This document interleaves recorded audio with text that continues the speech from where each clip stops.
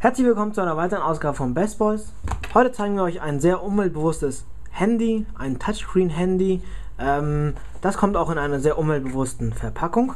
Das sieht nämlich so aus. Es nennt sich GD510 Pop und ist von LG. Äh, wir haben uns nicht nur das Telefon zugelegt, sondern haben uns auch noch sowas hier besorgt. Das ist eine Solarzelle, die wird als Akkugehäusedeckel hinten angehangen und äh, versorgt das Telefon mit Energie über, ja, über die Sonnenenergie. Sonnenenergie haben wir jetzt leider nicht, aber ich zeige euch trotzdem, wie das aufzubauen ist und wie zum Beispiel sowas funktionieren könnte. Das legen wir erstmal zur Seite. In dieser kleinen Verpackung hier befindet sich das GD510. Wir bauen es auch einmal aus und zeigen euch alles. Das ist das. Erstmal zur Seite damit. Was haben wir im Lieferumfang alles? Kopfhörer. Und zwar sind das, ja, ihr braucht jetzt großartig nicht viel zu erwarten. Das sind ganz normale Kopfhörer, die reichen vollkommen aus. Ähm, sind aus Kunststoff gemacht. So sieht das alles hier aus. So. Und in der Mitte habt ihr natürlich, wie ihr es kennt, ein Mikrofon angeschlossen, wofür ihr auch, womit ihr auch Gespräche annehmen könnt, aber auch freisprechen könnt. Das legen wir so zur Seite. Ansonsten haben wir noch drin ein USB-Kabel. USB-Kabel nutzt ihr zum Beispiel für Datensynchronisation oder Musikübertragung. Das Telefon verfügt über einen Anschluss von äh, Micro-USB. Das seht ihr hier. Das ist nicht nur ein Daten, äh, der leitet nicht nur Datenstrom, sondern LG hat was Cleveres gemacht, was eigentlich seit kurzem fast alle Hersteller auch machen. Das ist sehr gut für die Umwelt. Äh, ihr habt ein Modular und äh, hier ist eigentlich kein Kabel angeschlossen, was ihr mit direkt mit dem Telefon verbindet, sondern USB direkt an Modular und äh, ja, das natürlich am Telefon. Dann wird das Telefon auch aufgeladen. Das soweit zur Seite. Als letztes haben wir ein, eine Gebrauchsanleitung drin, sowie, eine, sowie ein Akku mit 900 mAh, wie man das so sieht. Den brauchen wir gleich, ähm, den legen wir gleich natürlich mit dem Telefon ein. Das ist das GD510 Pop. Ähm, ist aus Kunststoff gemacht, macht aber einen sehr guten Eindruck, weil es hier hinten, man hier hinten keine Fingerabdrücke großartig sieht. Ähm, an vorne, ansonsten hat man vorne auch so, so, so einen Satin-ähnlichen äh, Farbstoff. Also wirkt im Ganzen und Großen trotz des Kunststoffs ganz gut und liegt auch gut in der Hand. Äh, ganz kurz zu den technischen Daten. Wir haben ein 3 Zoll TFT-Display, äh, resistiv. Äh, ansonsten haben wir auf der Rückseite eine 3 Megapixel Kamera. Das Telefon verfügt intern über 40 MB. Ich habe jetzt eine reingelegt, eine 4 GB. Ihr könnt es erweitern mit insgesamt 8 GB, das reicht vollkommen aus. Es ist jetzt kein Hightech-Smartphone. LG hat extra so ein Telefon gemacht, was günstig ist, was gut ist, was ausreicht. Deswegen hat es auch kein HSPA oder 3G bzw. UMTS. Das einzige, der einzige, das einzige Netzstandard hier ist Edge. Das sollte vollkommen ausreichen für die Anwendung. Das Telefon wiegt ansonsten mit dem Akku 90 Gramm, hat Maßen von 95 mal 50 und ist 11 mm groß, äh, dick, hoch. Ähm, ja, wir legen jetzt eine SIM-Karte ein und wir gucken, wie weit wir kommen. Wie immer, die SIM-Karte wird so reingelegt. Und wir legen Akku ebenfalls rein. Wie gesagt, der Akku hat zwar 900 mAh, aber ist vollkommen ausreichend. So, kurz zum Aufbau noch. Hier oben mache ich mal kurz an. LG-Logo erscheint auf dem Display. Ähm, Lautsprecher hier oben, Antaste hier oben, Lernial-Anschluss hier, laut und leise hier. Ähm, Kopfhöreranschluss, Datenanschluss, Auflademöglichkeit hier hinter. Ja, okay. Äh, hier hinter, ich zeige jetzt nochmal, wie stabil sowas ist. Denn die meisten wollen das ja mal ganz genau wissen. Das ist auch gut so. So, hier hinten ist der Anschluss. Und das wirkt recht stabil, wenn man das nicht unbedingt jetzt vergewaltigen muss. So, wir machen das einmal wieder fest. Ansonsten haben wir hier ähm, ja, die Schnellstarttaste für unsere Kamera. Das erste Mal müsst ihr das alles ausrichten. Das machen wir am besten gleich mit einem Stift. Äh, das muss jetzt ungefähr gemacht werden, einmalig. Das macht man immer ähm, bei diesen resistiven Displays. So, ich versuche jetzt so mh, gut wie möglich die Mitte zu treffen. Und äh, dann legen wir auch los. Ihr seht, es ist nicht so einfach, wenn man sich nicht konzentriert. So, habe ich es einmal gemacht und äh, habe natürlich das hier wieder auch zugemacht. Dann fragt er nach, äh, ob er die Kalibrierung speichern soll. Wir sagen ja. So, hat er gespeichert. Nachdem kommt gleich ein Assistent, der alles einrichten möchte, wie zum Beispiel hier jetzt. Der will uns einiges beibringen, wie zum Beispiel das Telefon zu bedienen ist. Ihr könnt entweder beenden drücken oder sagen, wir wollen weitermachen. In unserem Fall wollen wir weitermachen. Wir sagen auf diese Play-Taste hier, was gleichzeitig für weiter steht. Unsere Sprache hat er schon automatisch erkannt, das ist Deutsch, weiter. Unsere Uhrzeit und das Datum hat er nicht erkannt, ist jetzt auch nicht so wichtig. Wir sagen einfach weiter. E-Mail möchten wir auch nicht einrichten und sagen überspringen. Jetzt bringt er uns grundlegende Funktionen bei, wie das Telefon zu bedienen ist, sprich, das Menü aufgebaut ist, wie man Touch-Vorrichtungen macht, Scrollen macht. Solche Sachen. Texteingabe, Widgets, Displaysperre und weiter. Anrufliste anrufen. Lautlos umdrehen. Danke. Danke dir auch und wir sagen fertig. So, nachdem das jetzt eingestellt ist, ähm, das Telefon ist schon so konfiguriert, dass es sehr, sehr energiesparsam arbeitet. Deswegen seht ihr auch keine 5 Sekunden und das Telefon ist schon abgeblendet, hat sich verdunkelt und jetzt hat sich es abgeblendet.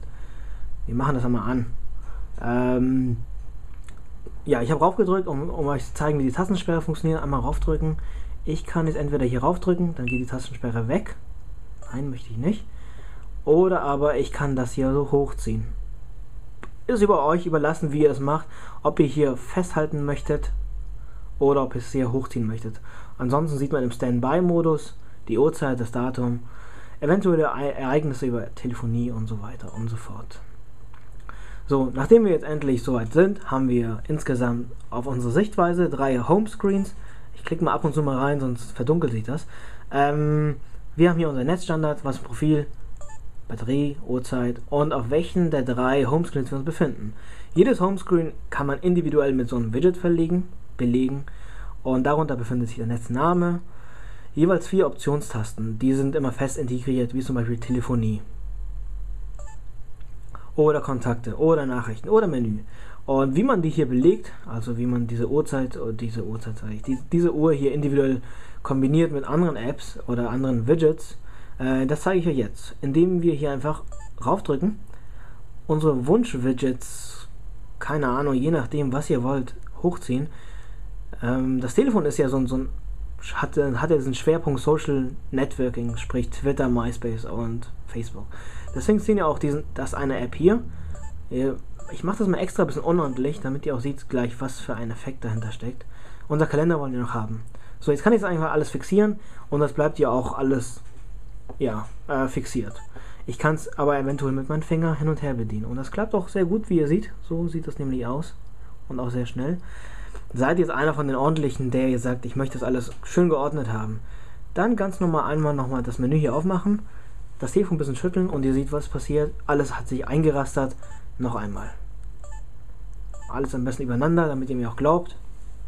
Ja, habt ihr gesehen, also durch diesen äh, Lagesensor hat das Telefon erkannt, dass es geschüttelt wurde und alles hat sich eingerastet.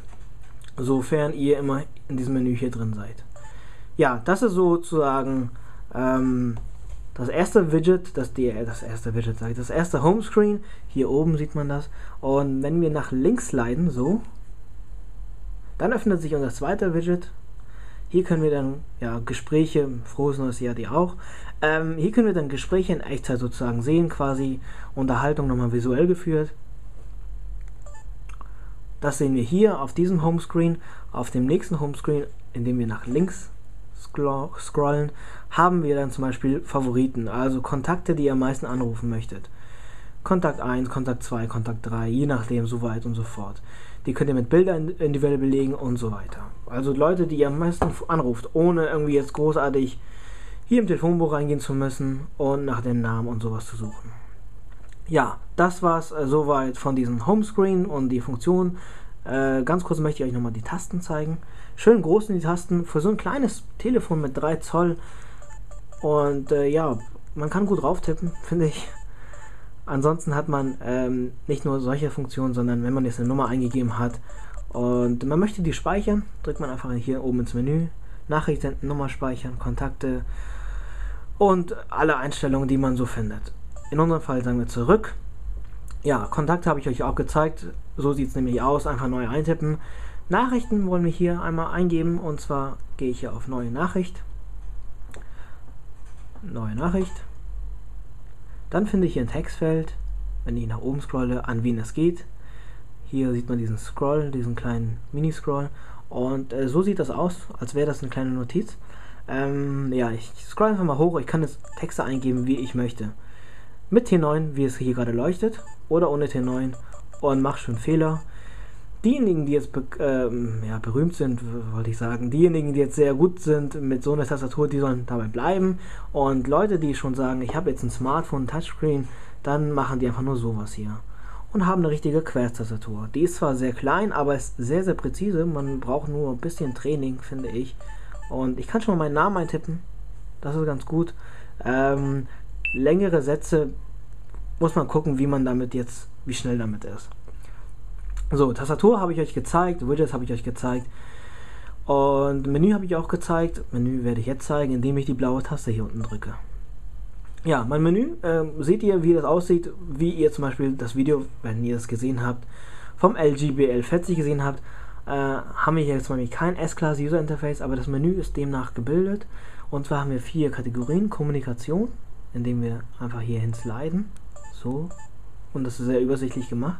Dann gibt es die äh, Ebene Unterhaltung, wo Kamera ist, Musik ist, eigene Dateien, UKW-Radio, Video und Spielunterhaltung. Dann gibt es Zubehör, Zubehör in diesem Mini-Programm halt, zum Beispiel Browser, Google-Suche, Wecker, Organizer und äh, Skizzen. Als letztes finden wir Einstellungen, sehr unterteilt. Das sind die vier Kategorien, die auf vier Ebenen geteilt sind. Und wenn ich nicht gerne so sliden mag, dann kann ich auch den hier machen. Dann kriege ich alles auf einem Bildschirm und ich kann brauche auch nicht zu sliden oder so. So ist das gut gemacht. Ja, wir wollen als nächstes starten, nachdem wir euch alle gezeigt haben mit SMS und alles, ähm, direkt mit der Kommunikation lasse ich einfach aus. Äh, direkt mit der Unterhaltung. Und zwar unser erster äh, Themenbereich hier ist die Kamera, die 3 Megapixel Kamera. Und man muss sich das ungefähr immer so anschauen. Hier habe ich dann vorher mein, äh, mein Objektiv, mein Visier und ich habe hier die Möglichkeit runter zu scrollen auf die Videokamera, in meine Galerie zu reinzugehen. Und wenn ich raufdrücke, habe ich hier entsprechende Einstellungen, wie zum Beispiel Auflösung, Bildwert und sowas und sowas. Ich äh, fotografiere mal einfach hier sowas und äh, wir gucken uns mal an, wie die Qualität ungefähr ist. Auslösen tue ich hier mit oben. Oder ich kann auch hier oben drauf drücken. Das ist vollkommen egal. Ja, Bild wurde geschossen, Autofokus hat es nicht. So sieht's aus. Überzeugt euch selber von der Qualität, wenn es euch wenn es interessant für euch ist. Unter www.bestboys.de findet ihr exakt dasselbe Bild zum Sehen. Ähm, ansonsten mache ich noch einige Bilder von der Natur und ihr könnt euch noch mal vergleichen, wie zum Beispiel die Farben sind, wie die Distanz ist und sowas und so weiter. Ich gehe mal zurück und äh, ja, ich brauche jetzt nicht unbedingt die Videokamera zu zeigen, wie das aussieht. Ich gehe einfach weiter. Nach der Kamera kommt die Galerie, klicke ich mal einfach rein. Und ja, hätte ich jetzt mehrere Fotos gemacht, dann kann ich einfach mit diesem Slider hin und her wackeln und gucken, die sind dann äh, geordnet nach Datum, nach Aufnahmedatum und so weiter. So sieht die ähm, Galerie aus. Als nächstes möchte ich euch einen wichtiger, ähm, wichtigen äh, Themenbereich auch vorstellen. Das ist die Musik. Die ist ja für diese Kategorie äh, der, der Anwender wichtig. Die Jugendlichen zum Beispiel. Oder aber auch andere Leute, die sagen, klein ist es und das ist cool, es ist äh, günstig. Und wie steht es eigentlich mit der Musik? Ich klicke mal einfach rauf lädt ganz kurz. Ich habe jetzt, wie gesagt, die Speicherkarte reingetan. Wir haben jetzt einige Tracks reingemacht.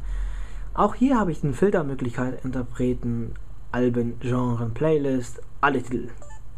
So, ich habe jetzt einiges, wie gesagt, aufgemacht. Und ähm, ja, ich sepp mich einfach durch, zeige euch einfach, wie die Oberfläche ist, mache schon ganz schön laut und äh, ihr könnt euch auch davon überzeugen und mithören. So, wir starten mal mit Blame It hier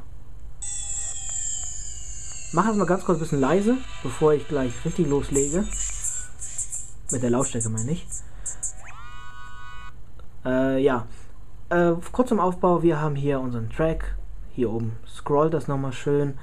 Ähm, und zwar haben wir ein Album Cover Art nochmal hier, wo wir uns gerade befinden, vom ersten bis zum zehnten Song. Ein Statusanzeige, Bewertungsschema und natürlich die ganz normalen Steuerungselemente. Ansonsten Menü aufgerufen, kann ich hier ja, Equalizer senden, verwenden als Klingelton-Dateiinformation. Solche Sachen. Wir wollen jetzt aber Play drücken und laut machen und gucken, wie das ist.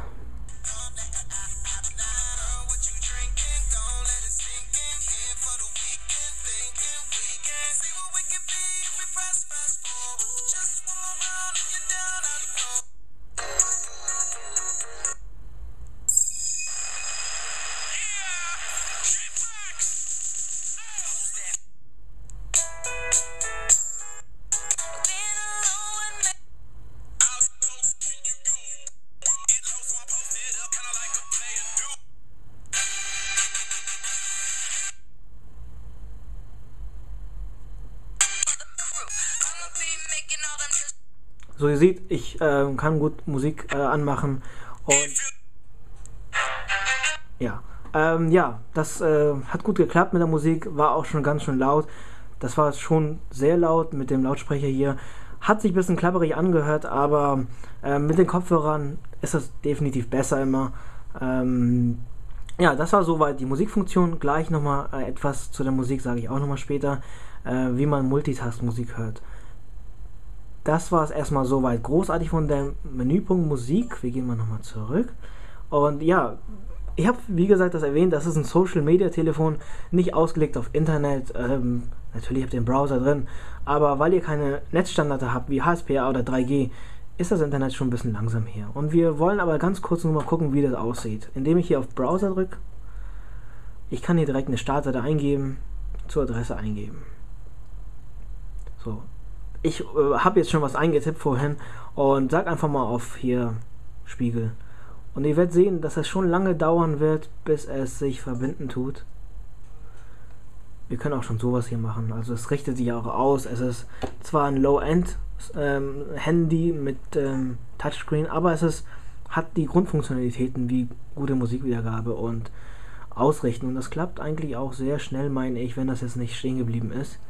Ähm, ja, ihr seht, es lädt unheimlich lange, ist aber jetzt nicht gewollt so, das ist nicht eine Kritik, sondern LG hat einfach so geplant und hat gesagt, günstiges Smartphone muss her und das braucht die Jugend oder das brauchen die Leute. Ja, ich bin jetzt im Internet hier, kann ganz normal eigentlich auf irgendwelche Themenbereichen klicken. Diesen Ton, den ihr die ganze Zeit immer mithört, den kann man auch ausschalten, das ist gar kein Problem, wenn euch das jetzt schon nervt. Ja, ich habe jetzt irgendwas geklickt und auch hier, wie gesagt, Ladezeiten, Ladezeiten, Ladezeiten. Das war es eigentlich soweit vom Internet, wollte ich jetzt sagen. Äh, natürlich haben wir hier solche Zoom-Möglichkeiten und ihr könnt das Internet auch nutzen. Hat kein WLAN, ähm, normales Edge reicht eigentlich aus, wenn ihr mal E-Mail lesen wollt, ähm, E-Mail empfangen wollt. Dafür ist es super schnell, dafür ist es auch optimal geeignet. Aber zum Surfen, äh, YouTube und solche Sachen ist es nicht geeignet. Wir möchten auch an dieser Stelle den Browser beenden, indem ich hier oben rauf drücke auf diesen Dropdown-Menü, nach unten slide und äh, sag beenden. Browser beenden und ja. Ja, Social Media sage ich die ganze Zeit, was ist das überhaupt? Social Media ist natürlich, wie die meisten das kennen, ihr seid gerade im Social Media. YouTube ist Social Media, alles was, wo, ja, StudioVZ und solche Sachen wo ihr kommunizieren könnt mit euren Freunden, wie Facebook, Twitter und so weiter. Dafür habe ich eine App hier vorinstalliert, und zwar das hier, und ich klicke rauf, dann lädt sich das auch schon ein bisschen, indem es startet. Vielleicht habe ich noch nicht rauf gedrückt. Genau, Java startet, Java powered. Und drei Applikationen sind schon vorhanden. Facebook, MySpace, Twitter. Wenn ich auf Twitter klicke zum Beispiel, kann ich mich einloggen, meine Tweets ausfolgen, verfolgen und Tweets senden, Bilder hochladen, solche Sachen halt. Das ist, ähm, wegen der Uhrzeit hat das jetzt nicht geklappt. Ähm, das sind so die Grundfunktionalitäten. Dafür ist das Telefon gemacht. So, wenn das jetzt mit der Uhrzeit wieder nochmal nicht hinhaut, Hauptsache ihr habt hoffentlich gesehen, dass diese Möglichkeiten vorhanden sind, wie zum Beispiel Facebook. Ich versuche das mal jetzt anzumachen. Aber er meckert jetzt wegen der Uhrzeit. So, lädt noch, lädt noch, lädt noch. Genau, äh, Uhrzeit kann nicht gestartet werden, wegen der Uhrzeit.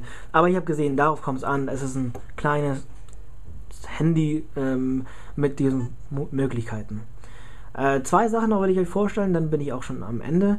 Und zwar Musik sagte ich, ihr könnt Multitask-Musik hören, indem ihr zum Beispiel die Musik minimiert habt vorhin oder indem ihr zum Beispiel so die Statusleiste hier runterzieht. Ich versuche das nochmal. Zeige ich auch nochmal, wie man das nochmal macht. Also indem ihr an der Kante hier seid, einfach nur hier so runterschieben. Manchmal klappt es, manchmal klappt es nicht. Genau. Äh, ja, ihr müsst ganz präzise sein auf jeden Fall. So, Statusbericht, Uhrzeit, GSM-Modus, Vodafone ist der Anbieter. Ähm, dann haben wir noch einen Akku, der wird beschrieben in Worten anstatt in Prozenten. Was für eine Kapazität wir auf der Speicherkarte haben und was für eine Kapazität wir auf dem Telefon haben. Was für ein Profil drin ist, ob Bluetooth an ist oder nicht, oder ob Bluetooth aus ist oder nicht. Und Musik zum Beispiel. Ja, das sind die Möglichkeiten vom LG GD510 Pop. Äh, als letztes möchte ich hier nochmal zeigen, welche Gestaltungsmöglichkeiten man hat, indem ich hier auf Menü klicke und der Anzeige. Und ich habe hier 10 Einstellungen, die ihr individuell euren Telefon verpassen könnt. Hintergrundbild, Telefonschema. Ähm, ich nehme mal sowas hier. Man kann auch die Schrift halt individuell ändern. Und ihr werdet gleich sehen, das ganze Telefon ändert sich vom Design. So, jetzt haben wir sowas hier zum Beispiel. Äh, auch nach wie vor mit dieser Funktion. Sieht ein bisschen witzig aus, Comic-Style halt. Ist euch überlassen, ob ihr Schriftarten ändert oder nicht. Oder keine Ahnung, äh, Einschaltbilder einsetzt oder Helligkeiten, solche Sachen. Ja, das war es, wie gesagt, soweit großartig vom LG GD510 und der ganzen Ausführung. Als letztes nochmal, wie gesagt, versprochen habe ich euch diesen, diesen Solar-Teil nochmal anzuhängen. Und ja, ich nehme das mal raus und wir gucken uns mal an, wie man dann aufsetzt und wo kommt es eigentlich an. Ja, das ist das, äh, was hinten rankommt. Einmal ausbauen. Genau. So, das brauchen wir nicht, das ist Kunststoff. Eigentlich brauchen wir nur diese Platte hier. Die Folie müsstet ihr entfernen, wenn ihr euch das nochmal optional zukauft. Es wird nicht mitgeliefert. Und merkt euch ganz kurz, seht euch ganz kurz die Decke an. Und äh, ja, ich nehme das mal ganz kurz weg, baue das einmal auf. Hier, sieht, hier, hier, sind die Konnektoren, die verbunden werden mit denen hier und dann wird, das, wird der Akku aufgeladen. Also es ist nicht nur ökologisch gemacht, es ist auch noch ganz cool für jeden, der jetzt im Sommer sich auf jeden Fall ein Handy gekauft hat oder jetzt gekauft hat. Ähm, legt das ruhig so hin.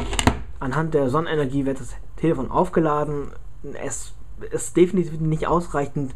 Ihr kommt drauf, definitiv nicht drum rum, wenn ihr mit dem Netzladekabel es nicht auflädt. Aber es ist eine gute Alternative, um immer ähm, ja, den Saft nicht zu verlieren. Also hier nochmal die Decke ganz kurz. Äh, ist eine gute Möglichkeit, wie gesagt, auch sauber, umweltbewusst Energie aufzuladen, das Telefon immer betriebsbereit zu halten. Ihr könnt das Telefon ja auch ausschalten und so weiter. Und ja, mit dem App hier signalisiert es quasi, dass das jetzt mit Solarzellen betrieben wird. Ja, ich bin soweit fertig mit der Vorstellung. Ich hoffe, das hat euch gefallen im Großen und Ganzen. Seid mir nicht böse, wenn ich das zu schnell gemacht habe oder nicht eure passende Musik abgespielt habe oder ein paar Funktionen ausgelassen habe. Es geht im Grunde in dem Telefon nur wirklich um diesen Social Media, dass es umweltbewusst gemacht ist. Es ist ein Handy, ähm, bietet ganz normale Grundfunktionen an. Das ist von LG so bewusst gemacht. Ähm, es fühlt sich gut an, liegt sehr gut in der Hand und ich muss sagen, es ist das beste Handy, was ich zurzeit bis jetzt gesehen habe. Das ist jetzt eine Empfehlung von uns für jeden, der zum Beispiel jetzt mit dem Gedanken spielt oder nicht, sich das zu kaufen. Es ist das beste Handy, was ich jemals bis jetzt gesehen habe, was unter 110 Euro liegt und solche coolen Funktionen bietet. Das kostet hier keine unter 30 Euro, aber das müsst ihr auch nicht kaufen das wird ja standardmäßig immer mitgeliefert. Ihr müsst ja nicht mit nacktem Akku äh, durch die Gegend laufen. Ja, wie gesagt, es ist eine Empfehlung für jeden, der gute Musik haben möchte, eine gute Kamera, 3 Megapixel Touchscreen, einen Markenhersteller wie LG haben möchte, ähm, den es vollkommen ausreicht, Twitter oder solche Sachen halt, WLAN nicht unbedingt haben möchte, nicht Wert auf Internet legt. Für den ist das Handy optimal geeignet. Und 110 Euro für so ein Touchscreen-Handy sind wirklich geschenkt, finde ich. Ihr müsst das nur aufpeppen äh, mit einer 4 GB oder einer 8 GB Speicherkarte, dann habt ihr nochmal zusätzlichen Speicherkapazität. Ja, das war's soweit. Ich hoffe, es hat euch gefallen. Danke für die 25 Minuten, die ihr investiert habt. Und wenn ihr Fragen habt, einfach loslegen. Wenn euch das Video gefallen hat, äh, einfach uns abonnieren, folgt uns auf Twitter. Damit unterstützt ihr uns sehr. Und ja, vielen Dank.